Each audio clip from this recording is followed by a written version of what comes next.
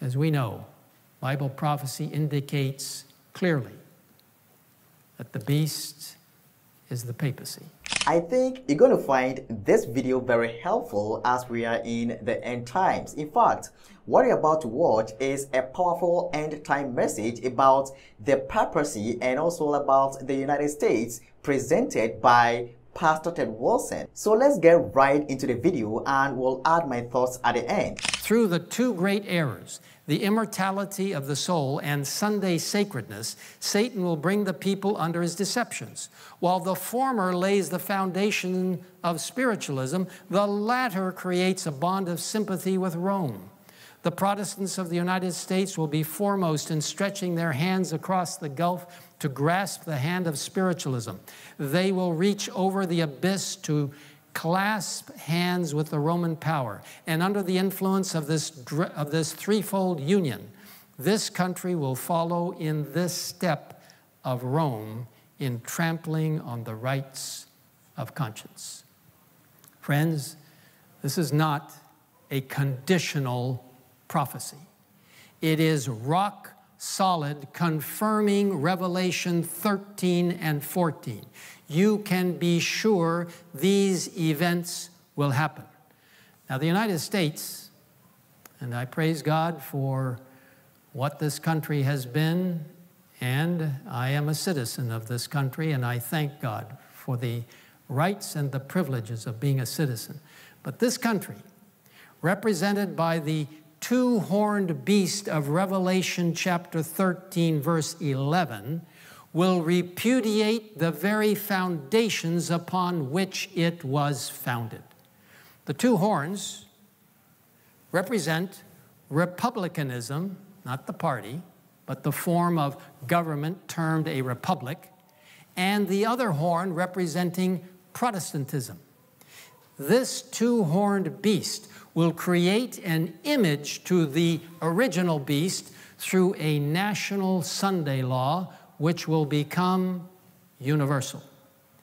The image to the beast is an entity that will pattern its religious understanding after the characteristics of the beast.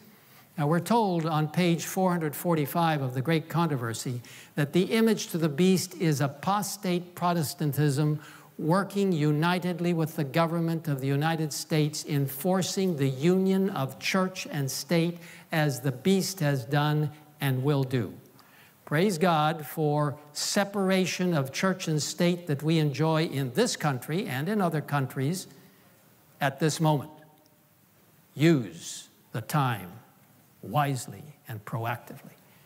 Revelation 13, verse 12 states, And the he exercises all the authority of the first beast in his presence and causes the earth and those who dwell in it to worship the first beast whose deadly wound was healed.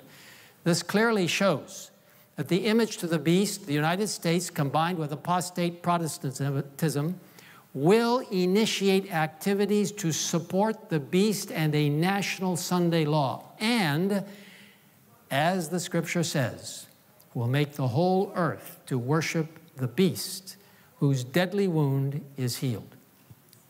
Since 1929, when the state of the Vatican City or the Holy See was established, the papal power has grown in strength not only in religious areas but in geopolitical settings.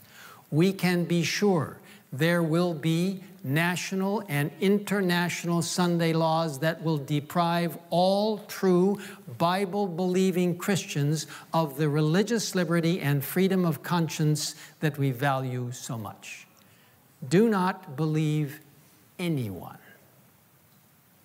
pastor, theologian, scholar, church member, teacher, anyone who may tell you Sunday laws will not be enacted.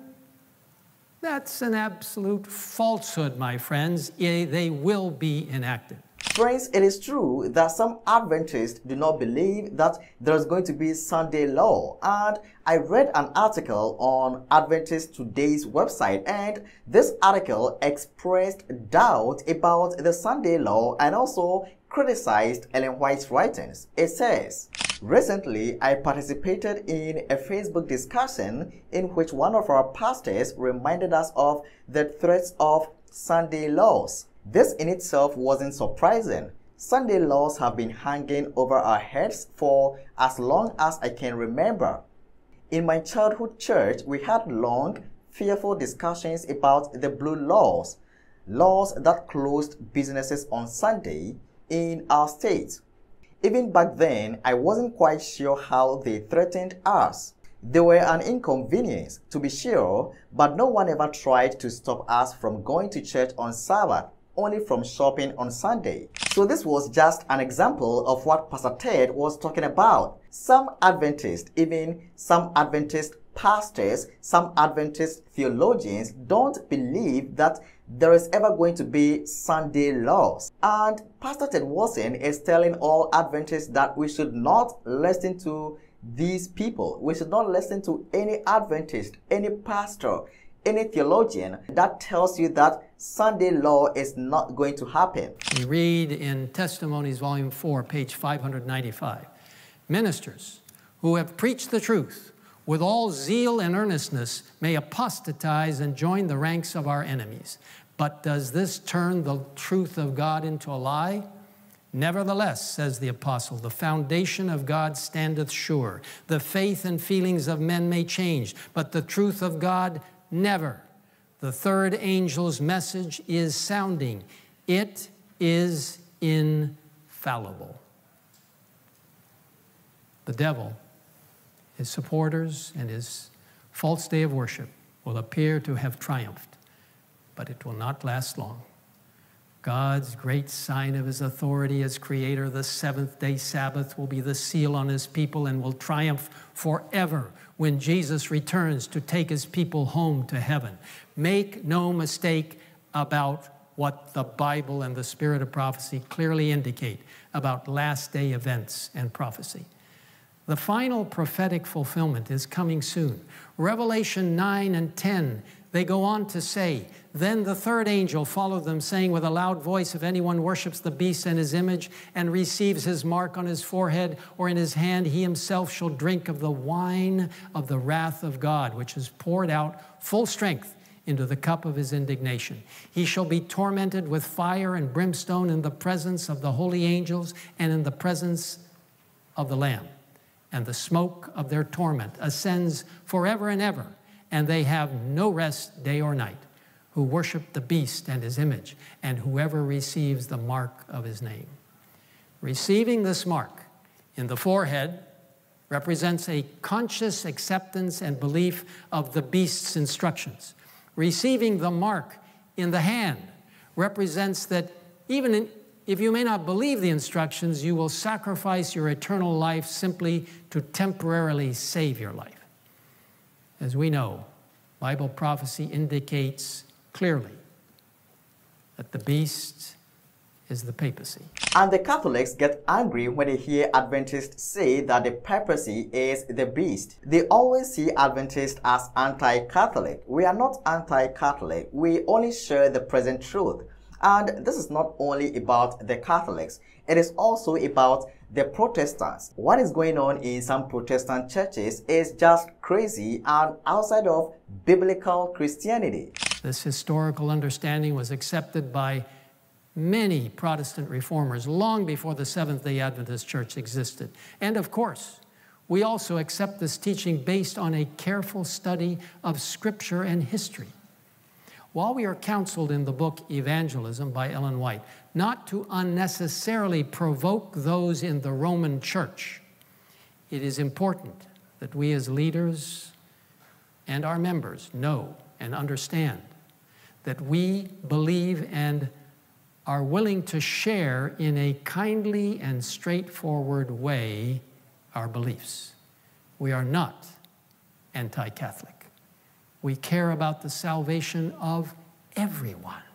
And we'll find ways of sharing these all important truths with as many as possible while there is still time.